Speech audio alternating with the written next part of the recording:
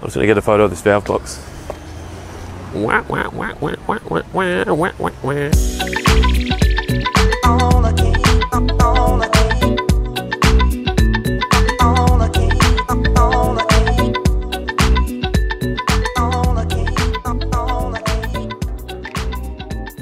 So we're headed to the, a job that one of our clients is doing on the avenue in Medindie, which is Medindie's arguably, and I'm sure the people that own houses in Springfield and Netherby would be the ones arguing about it if, you, if they really gave a shit.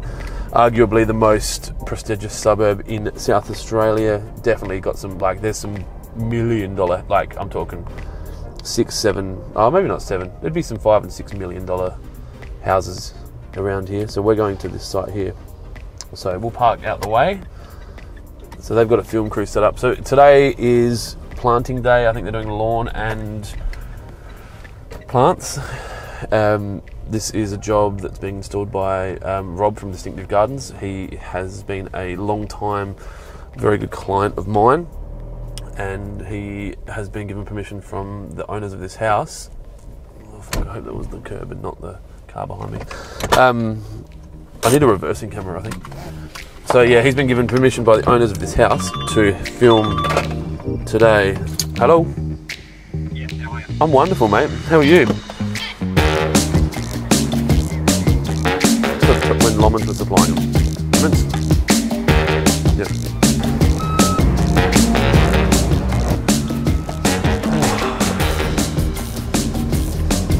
Oh, wait, Ned.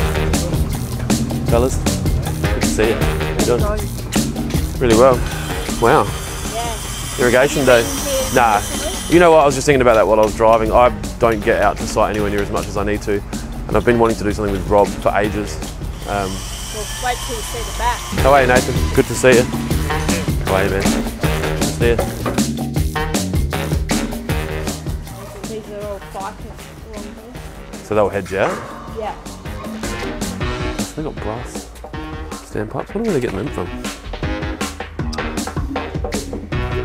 We need to stock those brass risers. How cool is that? Like it's like a, a gradual entry. Is this how my house is going to look? A little bit more advanced though. Yeah. How you going? before? Yeah, we have met. Yeah, Good to yeah. see you. This pool's cool, man. That's awesome. Like it, it's actually it's quite inviting. Like from that end, it's like uh, you feel like you're meant to just like start walking in. Yeah, it's good when there's hidden stairs like that. Yeah. So you guys do all your own garden edging. Yep.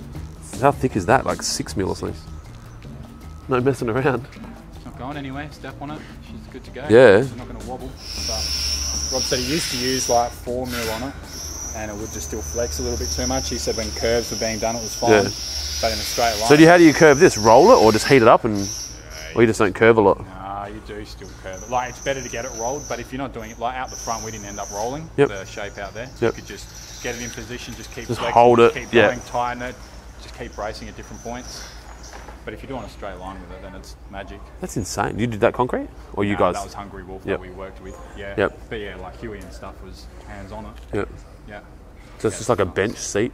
Yeah, big bench seat, internal tree for a bit of shade, and it wraps all the way up through to the um, concrete bench. Then you've got that internal seating space if you want the. And that's what Nathan's design.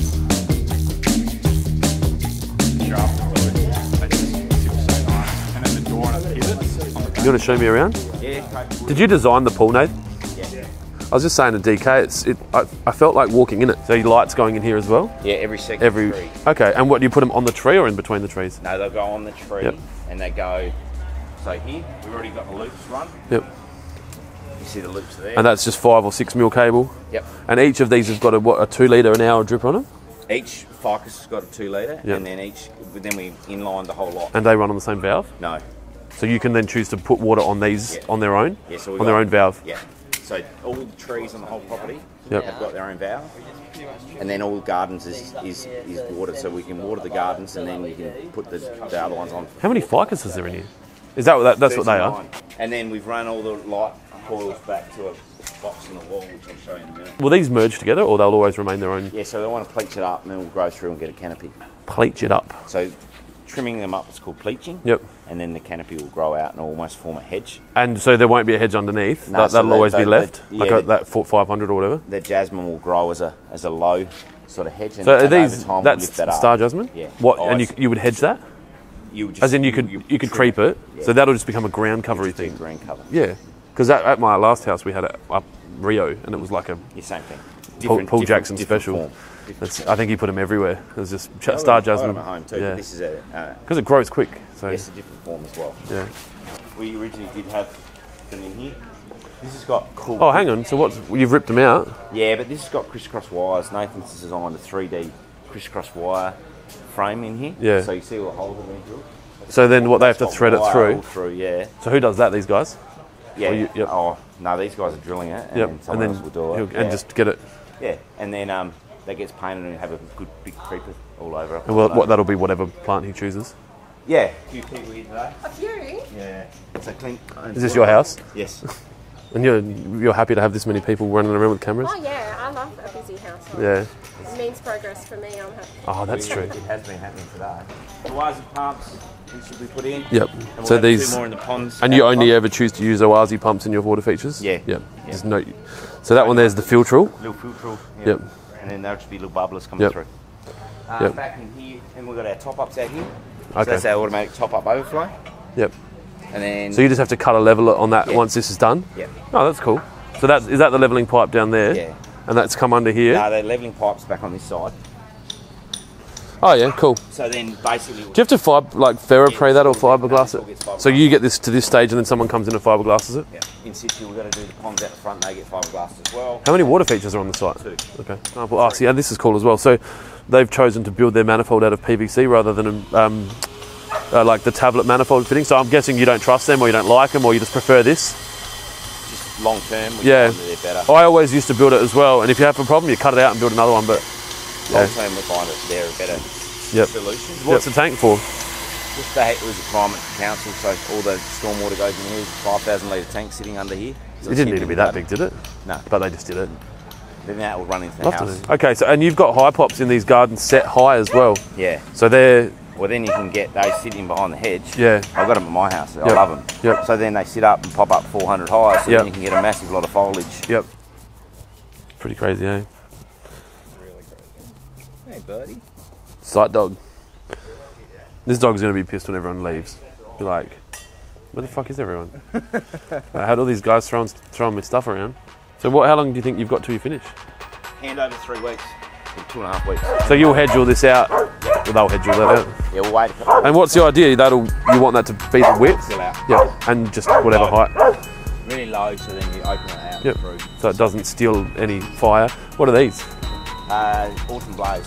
Yep. It's autumn blaze. Yep. So they were sourced here in Adelaide. All So- these plants so far. Okay, so the fact that these have come from Adelaide helps them with their establishment as well. Like it's not, Oh, it's, just not a different nice climate. It's just well, the Byron Bay ones. Yep. They're beautiful, but they did burn yesterday. Yeah. Well, it was also 36 degrees in April yesterday, wasn't it? Yeah. So, um, so this, this, these drippers that you're running off of on here, are they part of a, like a tree line? Same tree line. Yep. So that, yeah, cool. So you can just stop that or start that as needed. Yeah. We them on for five hours if we want to, and we just water the trees. Yep. And then these trees up here, in the paving up here, Yep. they'll be on that. Then there's two more going in here, and then you saw the tree in the paving out the back there. Yep. there so we've basically designated all trees, all major trees will be on drippers, so we can just just gives it a better watering system. That's coming down. Wow. That's a serious tree. Yeah. Was it a hard decision, or they just went, get rid of it? the branches. Yeah. So. Is this from the original job? Yeah. So that was the original nosing Upstairs? on the veranda at the front. Yeah. And so now we're putting it back underneath all the garage So you- doors. it'll get used, Yeah, yeah. we're putting it back into the project. Yep. So, you know, that's shit. That's old. Yeah. But it'll be pretty cool. Million, million, millions of years old. Yeah. Oh, so this is like a service area, Yeah. Yeah. which is landscaped better than my house. It's like some high-end pavers.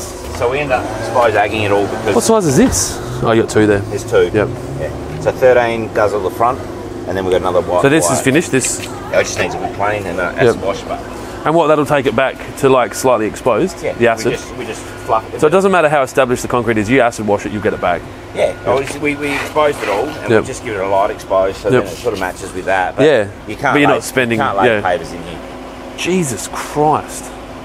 Yeah. And then yeah, so basically we ran all that through the and then all our lights sit in here. So we'll put another box like. When you take your, your pool pumps pretty seriously. Yeah, well they're all. Well, I haven't done it, but they're all um, variable speed. Yeah. So that then you can adjust the. Well, yeah, but you, you saw the pool. Yeah. You can adjust how the, the flow rates go Yeah. with, the, with the water over the edge. So So, basically, light. We'll put a box in here. Yep. All trannies sit in the box. That's it's Yep. nice and neat. So you got then- lights on this side and over that, like trainings on that side as well. Yeah, Yep. there's two banks, and then Yep. they're all internally switched. Yep. So that oh, that's nice. So there's only 60 odd up lights. no sensors or anything. Just they just turn them on when they want to No, turn but on. when they do the house in time, they will all be on Yep. C bus, so they'll be able to do whatever. oh, so they'll do the inside of the house. And then the Hydrawise just goes in here, Beautiful. so it'll just be nice and neat. And that's just a light. Yeah. And lights. Oh, there'll be all lights in here. I like this tree. Yeah, they're cool. That's it, really. That's insane, man. I remember having one pool pump Yeah. and like it being a pain in the ass. So that trough overflows into here. So then, so all that water spills over. There's a massive trough with 80 mil feeder pipes that runs into here. Yeah. And then basically draw the water back through into here. So that's the kind of detail the design Yeah. needs to be thought about early. Yeah, well in August, if you have a look here, this pool's been made so that there's every single tile. Oh, it's to the length of a ti- tile. So there's no can- cuts. Have a look at this detail here, that goes flush to the wall there. Yeah. So there's not one single cut to the wall. So full paver there. But it also matches the tile, these tiles. Yeah. So they're 20 mil tiles or whatever on the pool tiles. Yeah. And then so we've got the glass fence. So obviously you can see here. How I was just saying that to Brad, like we've gone to have a glass fence inside pavings, Yeah, like and then the boys have then to do that detail's pretty cool. To do that, and then so, but then we've calculated all that, and then if you have a look here, then it all comes to here.